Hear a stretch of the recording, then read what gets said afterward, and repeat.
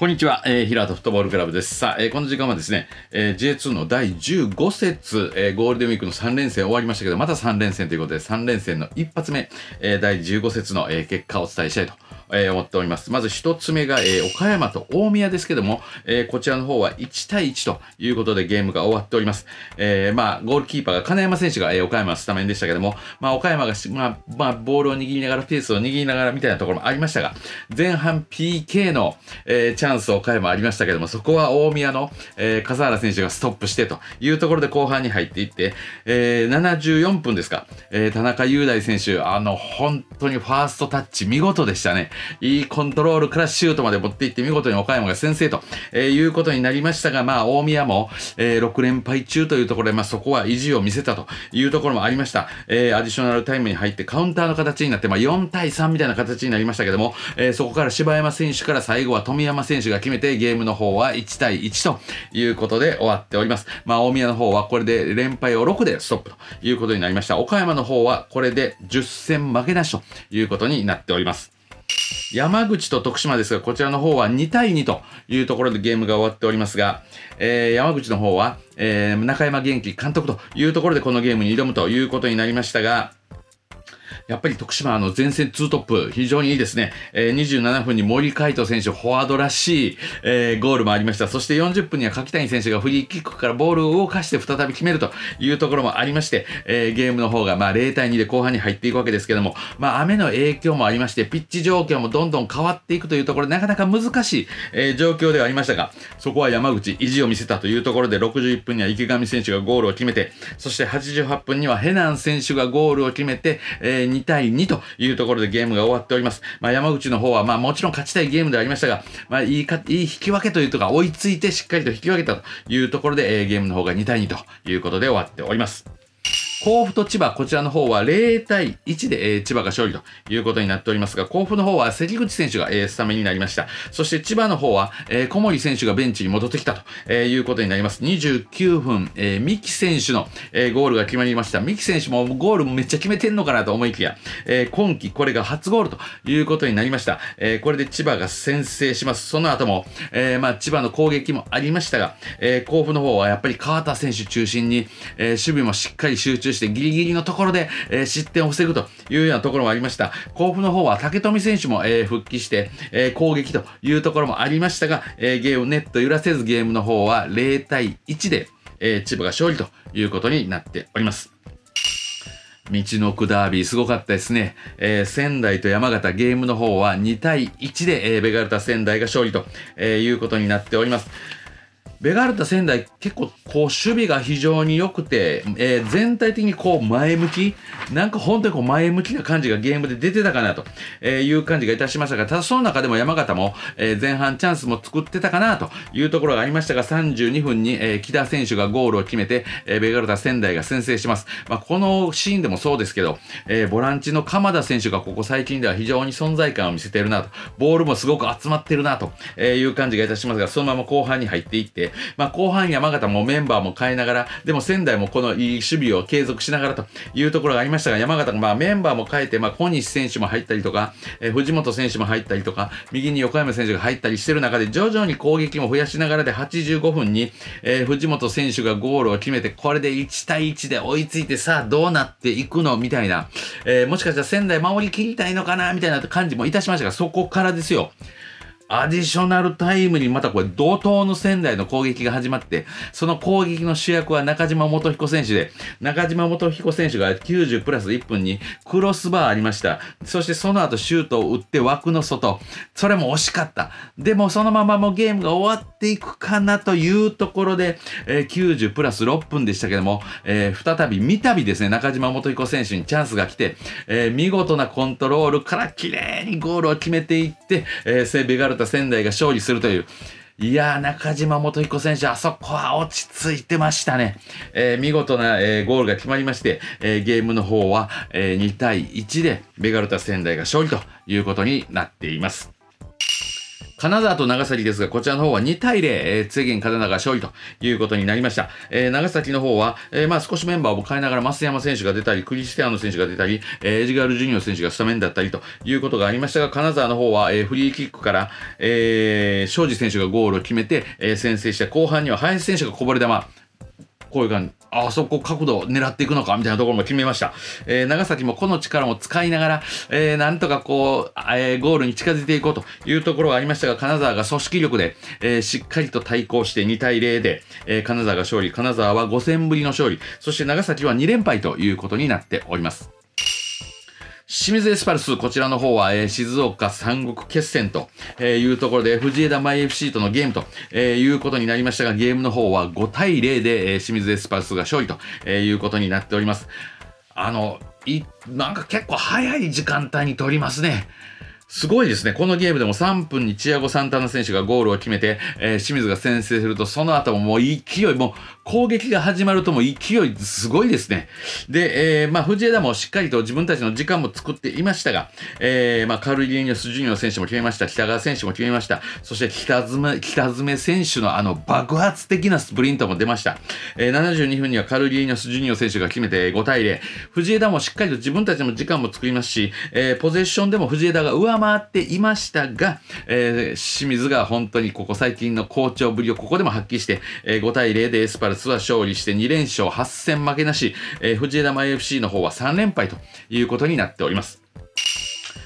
ジュビロ磐田は、えー、ザスパ草津群馬を迎えてのゲームですが、ゲームの方は4対2、えー、ジュビロ磐田が勝利ということになっております。まず、ジュビロ磐田ですが、えー、ファビアン・ゴンザレス選手が、えー、ベンチ入り、えー、このゲームではベンチ入りすることになりました。そして、えー、群馬の方は長倉選手がこのゲームではベンチにも入っていないというところで、高木明人選手が、えー、スタメン、高木明人選手、まあ、負傷していて、ずっと負傷から戻ってきたということになって、このゲームに出場、えー、遠藤選手に、えー、まあ、ガンバでも一緒にやってましたから、遠藤選手に試合前挨拶に行くというようなシーンがありましたが、まあ、序盤から、えー、ジュビロ岩田ペースで、本当に攻守に今なんかすごい充実というか、いい形を生んでるなと、えー、守備でも前から行きますし、えー、攻撃でもテンポよくボールを動かして、で、左サイドもいいんですけど、右サイドのコンビネーションも非常にいいと、えいうところで、10分には藤川選手、13分には山田選手、そして後半に入って47分、ドゥドゥ選手、えー、そして56分には、えー、ジャーメイン両選手が決めて、えー、まあ、ジュビロが4対0と、えー、いうことになっていくわけですけど、まあ、そこから、えー、ザスパ草津群馬は、えー、風間選手がフリーキックを直接決めて、そして、えー、まあ、酒井選手もゴールを決めて4対2。風間選手、まあ、もともといい選手でミスの少ない選手ですけども、今シーズン非常に高パフォーマンスを続けてるなという感じがいたしますが、えー、ゲームの方は4対2でジュビロ岩田が勝利。ジュビロ岩田は連勝。これが今季初の、えー、連勝ということになっております。さあ、そして東京ヴェルディと FC 町田ゼルビア、えー、東京クラシックと、えー、いうことになって上位対決でしたけども、ゲームの方は0対1で FC 町田ゼルビアが勝利と、え、いうことになりました。が、どちらも、え、守備が安定しているとえいう部分がありますので、え、そのあたりは、え、なかなかどこ、なかなかシュートまでたどり着けないようなシーンもありましたが、そしてこの町田の方は、え、このゲームでは荒木選手が、え、ま、高井選手がこのベンチにも入っていないというところで、荒木選手が紹介ではトップ下みたいな感じに紹介されてましたけど、え、ボランチの位置に入りまして、え、ゲームに挑むということになりましたが、え、45分プラス1分に、えー、エリキ選手がゴールをこう押し込んでというところで町田が先制で、後半に入って63分ですけども、えー、バスケスバイロン選手がイエローカード2枚で、えー、退場になりますというところなんですが、ここがこのベルディの本当に今シーズンの、えー、中身が詰まってるなというか、充実してるなというところは一人少なくなったんですが、えー、それをちょっと感じさせない、えー、ベルディの戦いっぷりは見事だったかなという感じがいたしましたが、そこは FC 町田ゼルビア、えー、本当に守備がしっかりしてるというところで、この1点を守りきって、えー、ゲームの方は0対1で FC 町田ゼルビアが勝利ということになっております。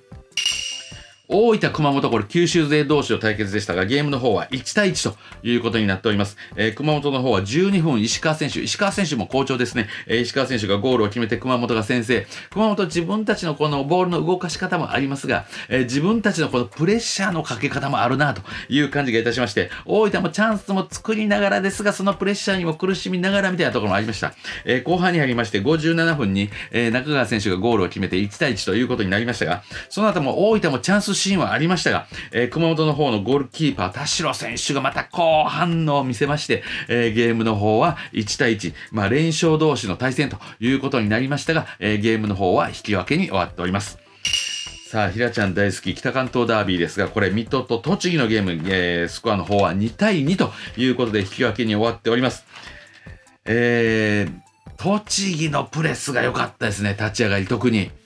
えー、本当にこのスピードも強度もある、えー、で、ボランチの西谷選手とかもいい働きしてました。そういう流れから14分に矢野貴翔選手が PK を決めて栃木が先制。ただ、えー、25分あたりから、えー、水戸のボランチの前田選手、杉浦選手がボールを持ち出して、またそのスペースができ始めて、えー、水戸のリズムになっていったかな。そして後半に入って59分、小原選手が決めて1対1。ただその後この水戸ペースになってってるところでのと栃木の、えー、67分ですか。福森選手のゴールはスパインゴールでしたし、なんか意味あるゴールだったなという感じがいたしましたが、その後も、えー、水戸もしっかりとゲームを作りながらというところで、81分には草野選手が PK を決めて、えー、ゲームの方は2対2、なかなか熱い、えー、北関東ダービーだったかなと、えー、そんな感じがいたしました。さあ、そしてラストこれだけ日曜日でしたけども、えー、いわき FC 対ブラブリッツ秋田、まあ東北勢同士の対戦で、これはバチバチだろうなと思いましたが、やっぱりぱりバチバチになったなという感じがいたしまして、ゲームの方は0対1でブラブリッツ秋田が勝利ということになっております。えー、岩木の方は宮本選手が出場停止で、ボランチの位置に、えー、冠城選手が入るということになりましたが、前線近藤選手ワントップで、その下に吉田選手が入るような、まあ、ちょっとこう守備も意識したような、えー、戦いもありましたが、えー、前半はなかなかこう、どちらもシュートシーンは少なくてというところになりましたが、後半、秋田が中盤の右サイド、小暮選手に変えて、畑選手を入れていく。もう畑選手のその力強さ、重さみたいなので、またこう右サイドをどんどん押し込んでいくような、そして畑選手のこの高速クロスも非常に良かったなという感じがいたしましたが、80分に PK 吉田伊吹選手が、途中出場の吉田伊吹選手が PK を決めて、ゲームの方は0対1。これで秋田の方は2連勝、えー、岩木の方は5連敗なんですけど、そして前節まあ9失点というのはありましたが、がこのゲームを見る限り守備は落ち着く方向に行くのかなという、えー、そんな感じがいたしました。さあ、順位表をご覧いただきたいと思いますが、えー、町田が勝利して、えー、2位大分との勝ち点の差を4と、えー、いうことになっています。えー、ベルディ、長崎、エスパルス、秋田と、続いていくということになります。さあ、そして、えー、次節なんですが、16節、これ3連戦の真ん中でございますが、えー、5月の17日水曜日に、えー、ゲームが行われるということになります。まあ、ちょっと見ていきたいと思いますが、えー、まず1つ目、山形と大分だけ、えー、13時30分キックオフということになっておりますので、えー、スタジアムに行きますよとか、えー、 DAZN で生で見たいなという方はお時間お間違えないように、えー、13時30分ということになっております。えー、山形は前節みちのくダービーにちょっと悔しい敗戦でしたが、その悔しさをここでこう本当にぶつけたいということになってきますし、まあ大分も本当に攻撃陣はしっかりといい形作ってますので、このゲームでは結構サイドの攻防は面白いんじゃないかなと、えー、私は思っております。さあ、そして、えー、その後は全て19時キックオフですが、えー、秋田と甲府、まあ、6位、秋田と9位の甲府ということになりますが、えー、秋田は2連勝、そして、えー、甲府の方は2連敗ということになっております。えー、通算対戦成績は、秋田から見て0勝1分け3敗ですので、秋田はまだ甲府に勝利したことがないと、え、いうことになりますが、えー、セットプレー、カウンターみたいなところが、え、ゴールを生むチャンスなのかな、1点勝負になりそうな、え、そんな気配がする秋田と甲府という感じがいたします。これは本当に痺れるゲームになると思います。えー、22位、いわきと21位、大宮のゲームです。えー、いわきは5連敗。大宮の方は連敗を6でストップしましたが、前節は引き分けというところで、どちらも守備の強度があります。そしてコンパクトさも意識しますというところ、ただどちらも勝ち点3が欲しいというところでは、本当に、えー、痺れるゲーム、そして勝ち点3を得て、えー、このシーズンさらにこう上に向かっていくための、まあ、大事なゲームになるのかなという感じがいたしております。さあ、17位栃木は、えー、3位ベルディとのゲームというところで、まあ、栃木本当に前節と特に立ち上がりの、えー、守備、プレスとか非常に良かったなという感じですが、えー、ベルディも守備も安定してます。ベルディはしっかりとボールを持てますというところで、栃木がどれぐらいの、えー、強度、どれぐらいの位置からプレスをかけていくのかというところが見どころかなという感じがいたします。さあ、そして7位群馬は、えー、16位水戸というところで北関東ダービーということにになりまして、水戸にとっては北関東ダービーの連戦ということになります。えー、まあ前節、水戸はかなり尻上がりに調子を上げていったかなという感じがいたしますが、本当にこの両チームのボランチが非常にいい。えー、群馬の方は、え、風間選手と天笠選手、そして水戸の方は前田選手と杉浦選手、このボランチがこのゲームでは鍵を握るんじゃないかなと。どちらがそのボランチがボールをゆっくりとこう持てて、しっかりとゲームを作れるのかなと。そのあたりを見ていきたいと思います。そして、15位千葉ですが、えー、5位の清水エスパルスを迎えてのゲームということになります。千葉の方は前節三木選手が今季初ゴール、そして小森選手も復帰しているというところで、その流れを、えー、このフォームでも活かしていきたいということになりますが、エスパルス現在8戦負けなし、そして2連勝、そしてゲームの最初から勢いよく入っていく、で、時間帯早くゲームを、あのゴールを決めるというところで、千葉は逆にその早い時間の失点をしたくないというか、相手の勢いを抑えたい。そこを抑えることができれば、千葉もしっかりと、えー、リズムを取っていけるのかなというところで、このゲーム、立ち上がりから注目かなと、えー、私は思っております。さあ、そして1位 FC 町田ゼルビアは、えー、18位山口を迎えてのゲームということになります。えー、町田は1位ですから、もちろん安定した戦いを見せておりますが、今シーズンここまで15試合を戦って、えー、失点がわずか7でございます。えー、本当に失点をしない、えー、チームというところで、逆に山口はそこをこうアグレッシブに、えー、行って、なんとか相手ゴールに迫っていきたいんじゃないかなと、えー、思いますが、町田もそこはしっかりと守って自分たちの形で攻撃していく、まあ、山口のそのアグレッシブさがどれぐらい出すことができるのか、えー、そこを見ていきたいと思います。さあ、そして、えー、静岡三国決戦、藤枝今度はホームでの戦いということで、えー、藤枝は岩田を迎えてのゲームと、えー、いうことになります。えー、前節、まあ、エスパルスに敗れましたが、ここも藤枝は自分たちの存在価値をもう示すためにもアグレッシブに行くと思います。で、ジュビロ岩田を慌てさせたい藤枝ということになりますが、ただジュビロ岩田は本当に攻守に安定した戦いを見せているというところで、どちらが高ペースを握っていくのかというのも楽しみですし、かなりサイドの攻防、えー、藤枝は、えー、左に榎本選手、そこに対面するのが岩田の鈴木優斗選手、えーこちら、藤枝の右には久保東次郎選手、で、岩田は左サイドに松原幸選手、このマッチアップは面白いんじゃないかなと、えー、私は思っております。19位徳島のホームゲームは14位金沢を迎えてのゲームということになります。現在徳島5戦負けなしと、えいうことになっております。えー、まあ連戦中ということでありますが、まあ2トップは非常に元気というところで、この2トップを含めて、えー、金沢がその徳島の、え、攻撃を抑えながら徳島のどのあたりのスペースを狙っていくのかという、この金沢の戦い、え、3連戦の真ん中ちょっとメンバーを変えることも多いですが、えー、金沢どういうメンバーで来るのかもちょっと注目していきたいと思います。さあ、そして4 4位長崎は10位岡山を迎えてのゲームということで、えー、長崎は現在2連敗中というところになりますが、そして岡山の方は、えー、まだ負けは1つでございますね。その負けから勝ちに持っていくためには、もうなんとか得点を、だからこれね、このゲームは2点目、先制点も大事ですけども、2点目が大事大事なんじゃないかなと、えー、私は思っております。そしてラスト、このゲーム非常に楽しみなんですが、11位ロアスト熊本と12位ベガルタ仙台のゲーム、これはなかなか面白いんじゃないかなと、